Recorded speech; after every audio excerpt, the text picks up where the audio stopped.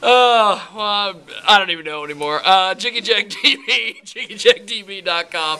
Also, RossLong.info, and now Rock This Magazine. I am Jigman Freud, the master debater, the cunning linguist, the admiral of alliteration, or as Tim Dixon calls me, the social media journalist. I'm going to get the hell out of the way and let the people with talent talk. Jump in there, Blunt Force Trauma. How the hell do you guys end up playing the Moose Ballroom tonight? We don't know. We don't know how we got here. We have no idea. A long time ago, somebody said, "Hey, you should play our CD release," and we said, "Okay," and end up being this one. That's it? There you go. That sounds about it. And then they're like, "Hey, we got the CD coming out. You guys are playing the show still, right?" And like, Yeah, sure. Did we say that? Yeah, we did. I think so. Yeah. So, for the people that uh, have been hiding under a rock for a couple of years, go ahead and introduce yourselves. I'm Darkness. I play the drums. I'm one of the people under the rock. I'm Jared, uh, the bass player. Matt vocals. Um, I'm Travis. I'm the other bass player.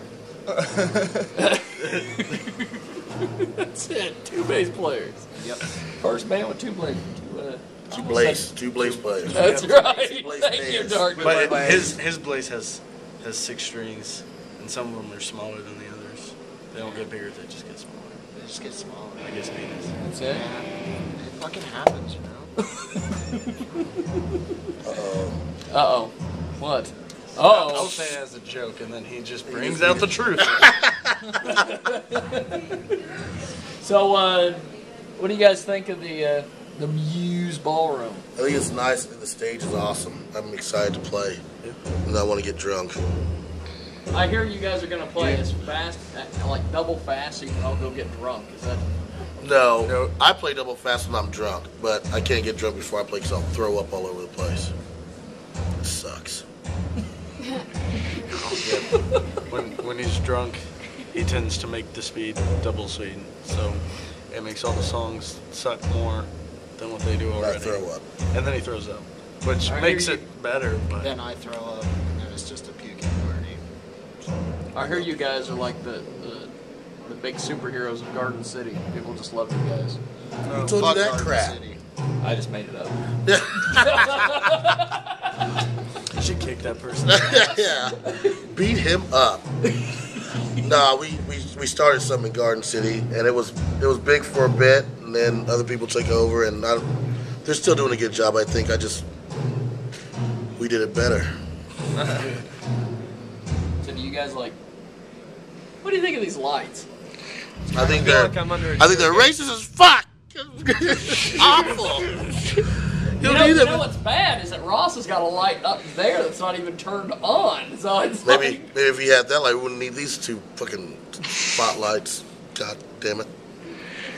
Crap. you know what's great about this is that he doesn't have to worry about the light. He's like barely in.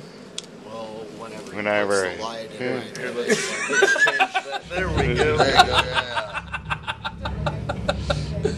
Now, uh, are you guys interested in? Are you guys excited about a certain band tonight besides yourself playing that? Yeah, we're excited about every band on this bill. Not so much about ourselves. Not yeah. not about yourselves. all. We really want to see Hemlock, Breakpoint are friends of ours, and we're excited about them all. Never seen Assembly Line Gods, so we're pretty stoked. There was a at one time Cash Hollister was on this bill. I know. I heard he he, uh, he got sick this morning and he couldn't play it because it's, it's adding different mixes to the local music. I mean, it would have been cool to see his friends come out, his fans come out. Just would have been more people, you know. That'll be two black people. And it would have been two black people, and we would have exposed all the people that like rap to our music and stole them away. Would have been cool. But he got sick, punk, so he couldn't play. Just kidding. I love Cash Hollister. He's great. He's a great guy. I mean, you could have introduced the mosh pit to hip hop.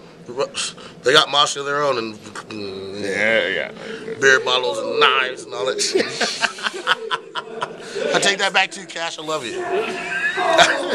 Now, uh, is is there a particular theme to blunt force trauma? Do you guys like have particular themes in your music? And Brutality. That's basically what we go for. We want it hard, heavy, and in your face. Straight up about everything. So that's You what we're about. you know what's great about the lead singer of blunt force trauma, Ross, is the fact that uh, this guy is so casual here, but then when he gets on stage, it's like you just want to throw him your wallet. He'll just take it from you if you don't. You can do that if you want to. Other than the fact that you owe me money, so it's probably good. I definitely ain't taking anybody's money. Fucking horse shit.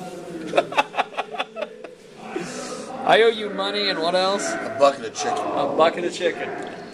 Fried chicken? Baked. I have a question for fried or I'll punch darkness. you in the face. Maybe I shouldn't ask it. Now, uh, uh, when you play, do you break things Sometimes. uh, accidentally or on purpose? Accidentally. I'm fat. That's why he has Okay. Do you, Uh, you uh, guys, you guys ever break things when you're on stage? Actually, the- Matt's head with his bass. yeah, Yeah, every Yeah, single show. almost every single show. I break everything. But The, the, the first show we did, we threw in Garden City, the actual show. Um, we borrowed some stage from a local high school there, and uh, we managed to get it to collapse on us while we were on stage. We were the last one. It didn't break anything except we thought it did, and it looked pretty bad, but it was pretty badass though. So. Badass we were playing and the stage fucking collapses. Did it break your? No, we it didn't. was it was awesome, and everyone cheered. If I would have fell off my platform, I would have been fucked. That thing was high, man. I was scared to death. Yeah, it would have been funny. And I'm looking over there thinking, Jared, don't fucking do this. Don't fucking do this. And he's just like, what? And you kept on freaking bouncing on I that board. the other side. hmm You It did only it on half of it purpose. collapsed. yeah. It didn't break your spirit though. Never. Never. Never. Now you guys are on Facebook, I understand. Yep. Where else are you? Twitter, all that stuff. We, you do any tweeting? we mainly Facebook. We have a MySpace, but nobody visits it anymore, and so because we suck. yeah, that, that's for the most part. MySpace There's No, like blunt force trauma, We have- Twitter or anything. No, Not yet. not right now. You guys don't tweet. Nope. We're not birds.